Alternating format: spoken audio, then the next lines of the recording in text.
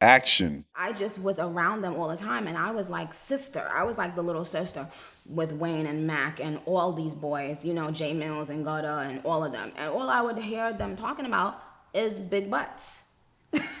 and I didn't feel complete or good enough good as them as the other as those girls because i'm like oh my god. I live in a predominantly black neighborhood. I see beautiful black women every single day. And then i look at these beautiful black women and i see the most ridiculous wigs on top of their head. And i ask myself why does it have to be this way? And i listen to the nicki minaj interview. They don't know probably that i that i always had that insecurity. Mm-hmm. so they're just joking. They didn't mean any harm but it wasn't a joke to me and this woman, she was being so vulnerable. But in her vulnerability, she said that she was insecure. She was trying to behave the way that she thought men wanted her to behave.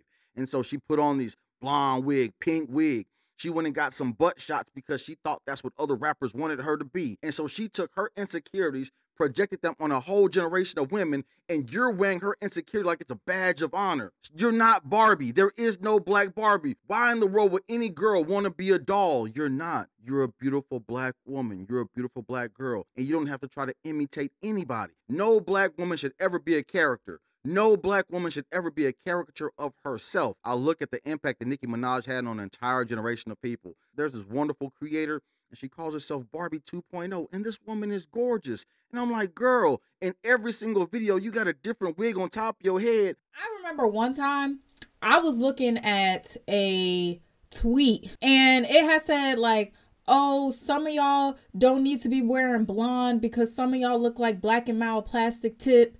And they were talking about dark skinned girls and how dark skinned girls can't wear blonde.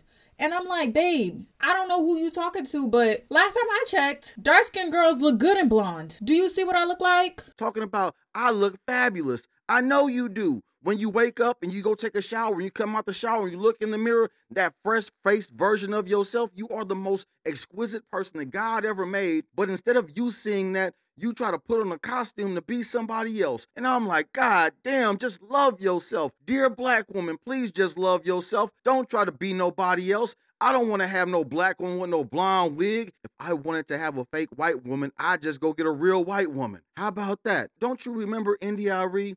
I'm not the average girl in the video. You know what's better than black love? Self love. If I can't love me, can't nobody else love me. And you putting on all this shit and you're expecting me to love you when you don't even love you. Can we have honest conversations? Can I encourage you to be the best version of yourself? The only reason I'm saying this is because I love you. I seen my mother, I seen my sisters. They are the most natural, most beautiful women I've ever seen in the whole history of the world. When I have the expectation to see a natural black woman, you'll give me me anything except for that. Like men are supposed to be attractive to women, women are supposed to be attractive to men. And when a man tells you that's not appealing to me, that's not attractive to me, then maybe you shouldn't do that. Maybe you should be in your natural state, the most wonderful essence, black goddess, queen, whatever the fuck you want to say that yourself is, be that. Be you. Don't be Betty Boop. Don't be Marilyn Monroe. Don't be Barbie. Don't be Barbie 2.0.